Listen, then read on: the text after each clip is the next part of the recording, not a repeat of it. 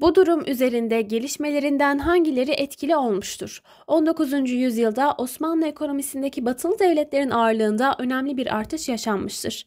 Islahat fermanı ile yabancılara Osmanlı ülkesinde banka ve şirket kurma haklarının verilmesi tabii ki arkadaşlar bu durum e, yabancıların Osmanlı topraklarına gelerek burada banka ve şirket kurmalarına sebebiyet verecek. Dolayısıyla batılı devletler Osmanlı ekonomisinde etkin olmaya başlayacaklar. Duyunu Umumiye İdaresi'nin kurulması yani Genel Borçlar İdaresi arkadaşlar Osmanlı Devleti borçlarını ödeyemediğinden dolayı Duyunu Umumiye kurulmuştur ve Osmanlı'nın sabit gelirlerine Avrupalı devletler el koymuşlardır. Tabii ki bu durumda yine Osmanlı ekonomisinde batılı devletlerin ağırlığında önemli bir artışa sebebiyet verecektir. Balta Limanı Anlaşması'nın imzalanması da yine olur arkadaşlar. Çünkü Balta Limanı bir ticaret anlaşmasıdır ve özellikle e, İngiltere'ye bir takım imtiyazlar tanınacak. Dolayısıyla İngiltere Osmanlı ekonomisinde etkin olmaya başlayacak. Dolayısıyla doğru cevabımız E şıkkı olacaktır. Osmanlı Devleti'ndeki faaliyetlerinin hangilerinin gerçekleştirilebilmesinde Osmanlı topraklarının jeopolitik konumu önemli rol oynamıştır. Bakalım arkadaşlar öncelerimize. Ülkedeki mevcut rejimin değiştirilmesi arkadaşlar bunun jeopolitik konumla hiçbir alakası yoktur. Avrupa devletlerine karşı denge politikası izlemesi. Örneğin arkadaşlar Mısır, Kıbrıs, Boğazlar gibi önemli konuma sahip olan e, bölgelerde Osmanlı Devleti denge politikası izleyecek. Yani kendine uygun olan, yanında bulunan devletlerle e, bir ilişki içerisine girecek arkadaşlar. E, bir denge kurmaya çalışacak. Yani e, karşısında iki Avrupalı devlet var. Bir Avrupalı devlet Osmanlı Devleti'nin yanında özellikle e, önemli konumlar konusunda. Bir Avrupalı devlet ise Osmanlı Devleti'nin karşısında. Osmanlı Devleti kendi yanında olan devletle birlikte hareket ederek karşısındaki devleti yenmeye çalışıyor aslında. Biz buna denge politikası diyoruz. Dolayısıyla jeopolitik konumu e, özellikle denge politikası noktasında önemli rol oynayacaktır. Demokratikleşme hareketleriyle de yine jeopolitik konumun bir alakası yoktur. Dolayısıyla doğru cevabımız yalnız 2 yani B şıkkı olacaktır. 19. yüzyılda görülen politikalarının hangileri Osmanlı Devleti'nin toprak bütünlüğünü olumsuz etkilemiştir?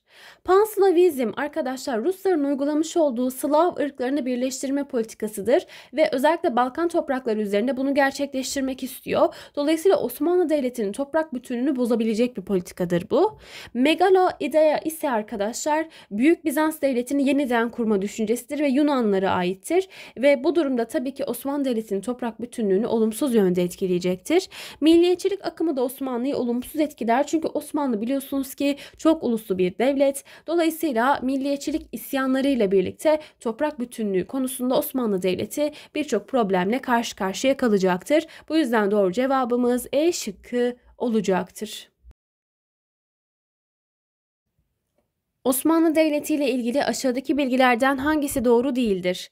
Islahat Fermanı Sultan Abdülmecit döneminde ilan edilmiştir. Doğru arkadaşlar. Osmanlı Devleti'nde ilk kağıt para kaime adıyla Abdülmecit döneminde bastırılacak. Tanzimat Fermanı'nın yayınlanmasında Mustafa Reşit Paşa etkili olmuştur. Bu da doğrudur.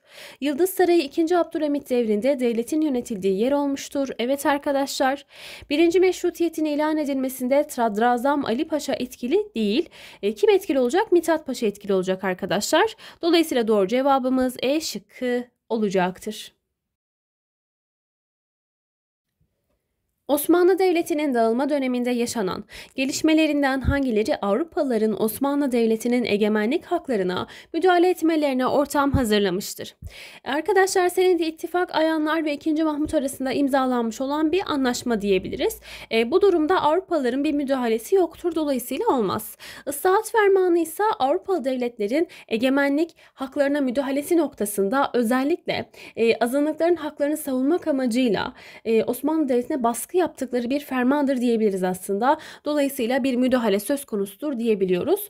Boğazlar sorunu ise şöyle. Boğazları uluslararası bir alan haline getirmek istiyorlar. Çünkü jeopolitik olarak oldukça önemli bir nokta. Dolayısıyla Avrupalılar bu süreçte boğazlar konusunda da e, Osmanlı Devleti'nin egemenlik haklarına müdahalede bulunmaya çalışıyorlar. Bu yüzden doğru cevabımız 2 ve 3 yani D şıkkı olacaktır. Osmanlı Devleti'nin dağılma döneminde siyasal varlığını devam ettirebilmek için uygulamaya çalıştığı politikalar arasında aşağıdakilerden hangisi yer almaz? Arkadaşlar denge politikası, Osmanlıcılık, İslamcılık, Türkçülük gibi politikalar etkin ancak fetih politikası artık yok. Çünkü Osmanlı Devleti artık en azından elimdeki toprakları kaybetmeyeyim düşüncesiyle hareket ederek daha çok savunmada bulunmaya çalışıyor. Bir fetih politikasından bahsetmemiz dağılma döneminde mümkün olmayacak. Bu yüzden doğru cevabımız C şıkkı olacaktır.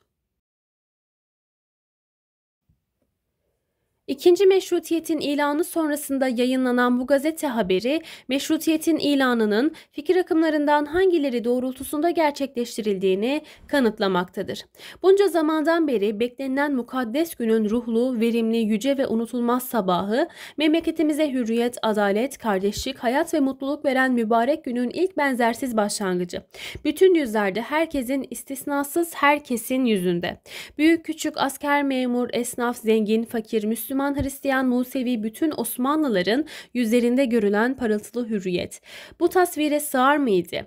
O ne tebrikler, o ne dualar, o ne teşekkürler, o ne neşe, ya Rab, o ne coşku ve neşe idi. Arkadaşlar gördüğünüz gibi burada herkesin eşit olduğundan, herkesin mutlu olduğundan, herkesin Osmanlı olduğundan bahsedilmiş. Dolayısıyla tabii ki Osmanlıcılık düşüncesiyle ortaya çıktığını söyleyebiliriz. Türkçülük ya da ümmetçilik gördüğünüz gibi yok. Çünkü e, Musevi ile Hristiyanlık diye bütün dinleri içine almış. Aynı şekilde bütün insanları da içine aldığından dolayı Türkçülük ve ümmetçilikten bahsedemiyoruz. Bu yüzden doğru cevabımız yalnız bir yani A şıkkı olacaktır.